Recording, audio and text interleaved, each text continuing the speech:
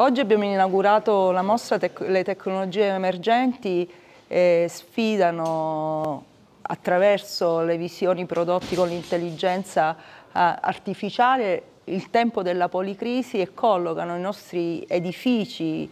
ibridi, le nostre città della transizione, dispositivi rigenerativi nell'atmosfera che è il contesto in cui abbiamo prodotto negli ultimi 50 anni i maggiori impatti eh, e che quindi in qualche misura sfidano la neutralità climatica e la neutralità carbonica. È un'esperienza svolta con il laboratorio Habitat Lab, di cui eh, dirigo le attività, insieme agli studenti dell'Atelier eh, 2022, otto progetti, otto proposte eh, di edifici rigenerativi, di città della transizione, di edifici ibridi che in qualche misura accettano questa sfida e si rivolgono all'intelligenza artificiale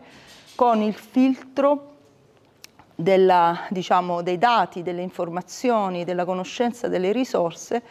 eh, che provengono da uno studio effettuato durante tutto l'anno, durante tutto l'anno del laboratorio di tesi e che continuerà nelle prossime, nelle prossime settimane per la produzione appunto della ricerca della tesi di laurea. È un tema di ricerca, è un tema importante, è un tema in cui il laboratorio lavora da anni, noi l'abbiamo affrontato con gli studenti producendo non solo queste immagini ma anche lavorando su quelle che sono le forme generative di questi edifici e quindi lavorando anche con la stampa 3D